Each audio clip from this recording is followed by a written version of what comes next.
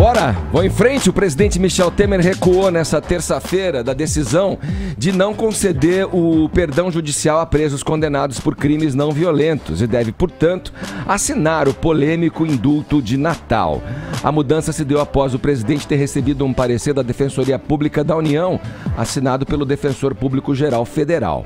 No documento, Jair Soares Júnior destaca que seria a primeira vez desde a redemocratização do Brasil que não haveria o perdão judicial e lembrou a situação carcerária, né, com quase 700 mil presos.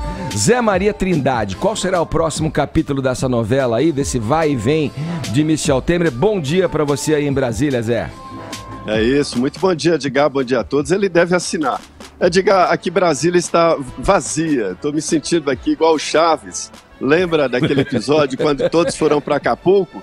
Todo mundo foi, que todo clássico, mundo foi para Acapulco Maria, e eu fiquei sozinho aqui. Ficou abandonado. Pois é. É, esse indulto está sendo questionado no Supremo Tribunal Federal. Entendem dois ministros, pelo menos, né, a, o Luiz Fux e a ex-presidente Carmen Lúcia, de que o presidente Michel Temer exagerou no último indulto e dando liberdade, inclusive, não é só liberdade, perdão de penas, inclusive para quem praticou corrupção e é envolvido na Lava Jato. Este assunto está em discussão no Supremo ainda. Já houve a formação da maioria, mas não a conclusão do julgamento, de que o presidente constitucionalmente pode assinar o tal indulto natalino. A Constituição garante competência exclusiva do presidente. Agora, a ideia dos ministros é definir ali um limite deste indulto, não passando o presidente a legislar sobre matéria penal. Diante desse impasse, o presidente recolheu os flaps, né?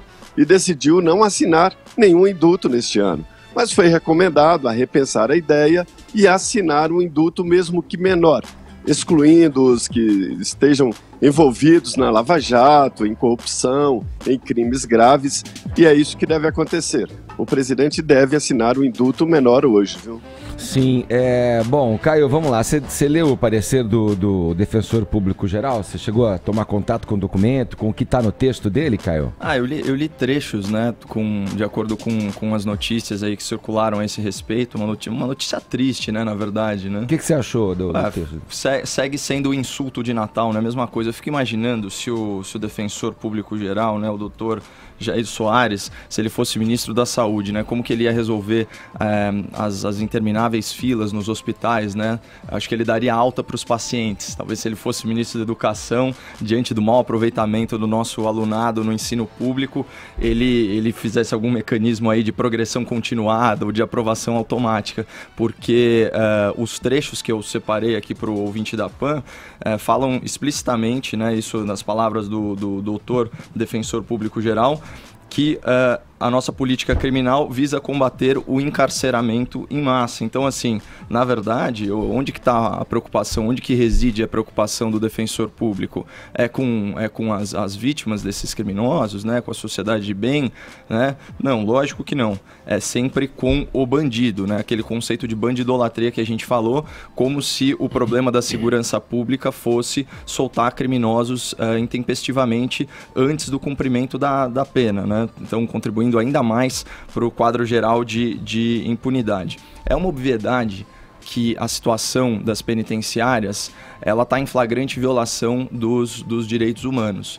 Mas a, a solução para isso não é soltar esses, esses criminosos. Né? E falando sobre a questão do encarceramento em massa, a gente já tratou disso, mas não custa repetir os números. Né? A população carcerária do Brasil aí é cerca de 620 mil presos. Né? Essa é, isso é o que se divulga. Mas quando a gente usa o critério internacional que contabiliza apenas os presos em regime fechado ou os presos provisórios aguardando julgamento, esse número despenca, vai para cerca de 450 mil, né? E o Brasil sai da quarta posição em população carcerária para a sexagésima posição. Não é nada demais. Sexagésima posição, Edgar. Nós somos a, o quinto país mais populoso do mundo, extremamente violento, e a taxa de encarceramento por 100 mil habitantes fica muito próxima da União Europeia. Então, assim, na verdade, a gente já, já tratou disso também aqui no, no Morning Show. O grande problema do Brasil está muito mais relacionado aos mandados de prisão em aberto, que somam mais de meio milhão do que uh, nesse, nesse, nesses casos de, de, de enfim,